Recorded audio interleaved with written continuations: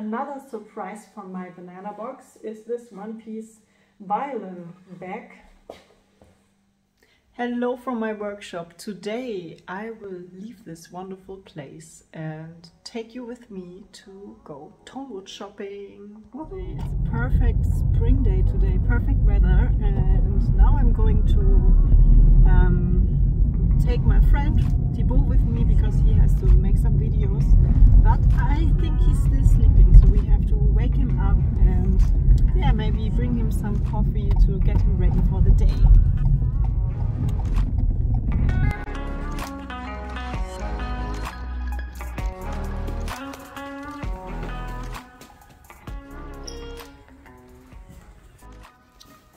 Surprise!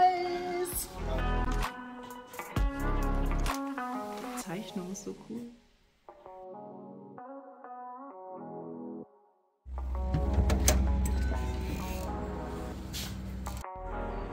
Ist das lecker oder ist das lecker? Sieht gut aus. Hello, so before we start to the Tonewood dealer, um, Tonewood is one of the little pieces of the whole puzzle. It's important to know what kind of Tonewood you are using to know how you have to work with it. Um, if you are a beginner, I would not recommend to buy the best Tonewood because you really need some time to learn yeah. how to how to work with it, how thin and what kind of arching and shape you have to give it to really have to sound that have it sound good and great. But once you improved, um, yeah, you can have a look on certain aspects such as density, weight, um, also the speed of sound and things like that. Um, yeah, and then after you know what kind of wood you've got, you have to match the top and the back to each other. So, but this is just a very, very, very, very tiny point. If you are really great in all the steps, so starting from the material and ending to a great varnish and playability and also the having the right measures and the right intuition, you will get a really great, great masterpiece, a really great instrument. Dankeschön, gleich geht's los.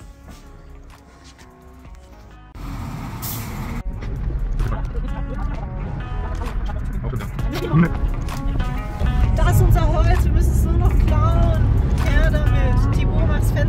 This is our fucking final destination moment.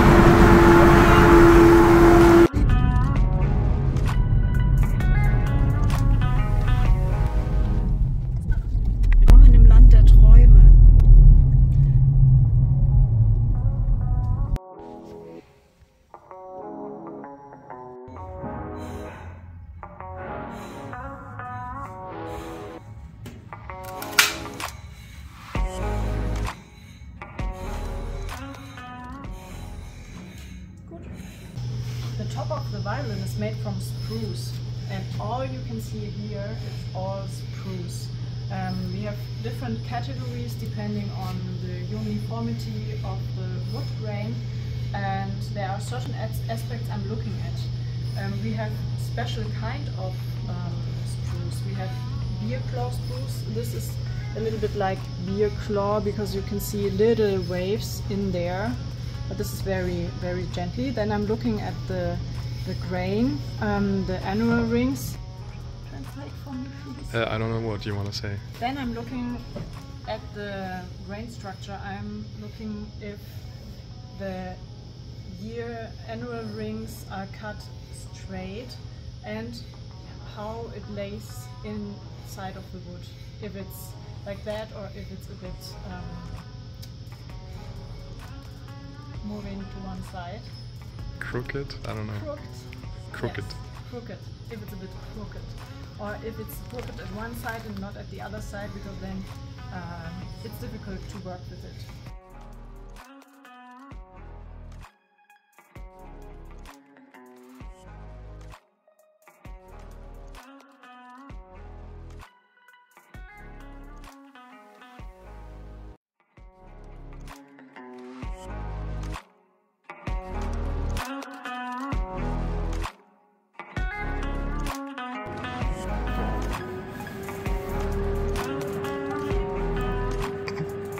Let's go.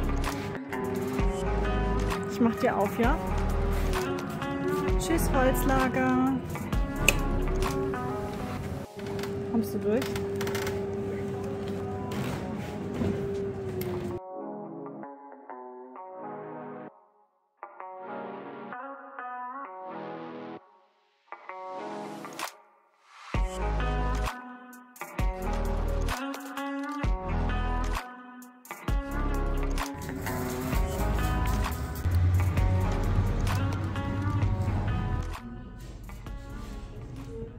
Und wie war dein erstes Mal Tonholz kaufen?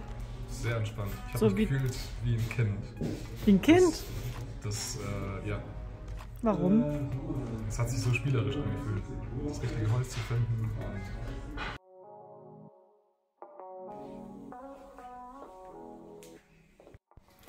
I am back home and I had to check my current project. This will be uh, Bergonzi Viola, um, Nicola Bergonzi. I want to show you what I've got at the wood. I've got new wood for the linings. This is quite two big pieces, so I can cut a lot of linings from it. If you wonder what linings are, um, it's hidden inside the violin. So this is also the Bergonzi viola um, rib structure.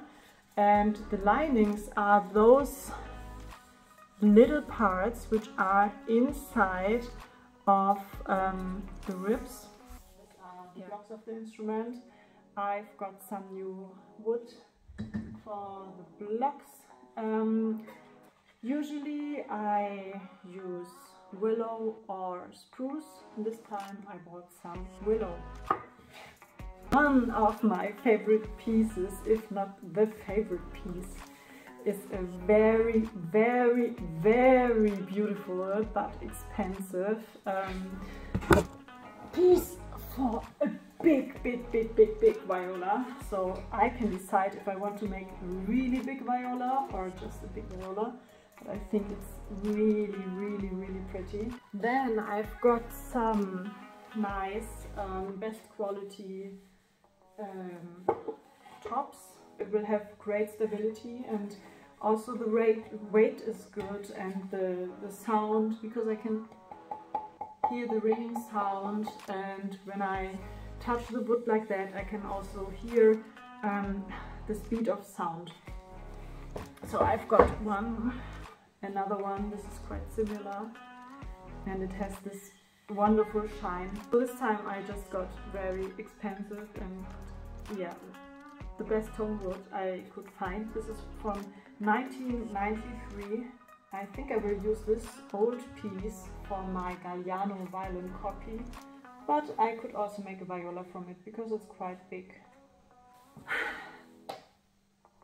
Usually I'm a big fan of one piece backs because I think they are always a highlight, but I found this um, two piece back because the structure is quite uneven, a bit wavy, and it also has little bird eyes on it. I think it's really beautiful. Don't judge a book by its cover. In the section for super old wood, I found this. From the first impression, you won't think that this is something super special, but a friend of mine, he plays a Gagliano violin and this violin has a really special back wood um, with bird eyes, but also with slightly, yeah, with a bit of flames and it's a two-piece back. What have I found? It's flamed, but also has those beautiful um, bird eyes due to the age and due to the um, structure and due to the annual rings and the weight and the sound that it has, I think this would be a great, great violin. If you are a beginner, you, you, of course you can also buy the best tone wood, but this will not make a good violin. This is just a very, very little, little part of the whole of the whole process. Um, you really have to know how to work with the wood. Which wood is good for which arching and which what do you combine with each other? What kind of top and what kind of back make a good fit? And then how thick are you going to make it? And there are so many factors because many people think that ah yes a violin good and then the violin will sound well. No that's not the case. Also lower rated woods can make a great violin. Um, you just have to know how to work with it. So the last pieces that I've got are some more top plates. Um, one top from 2013 can't wait to make some more instruments